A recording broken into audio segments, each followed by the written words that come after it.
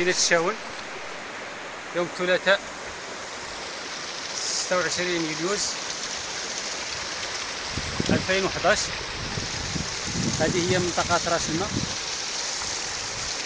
معروفة الشلال البارد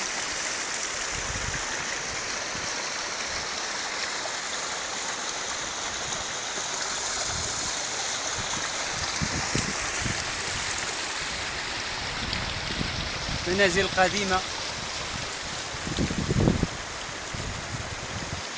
تحكي أيام الأندلس.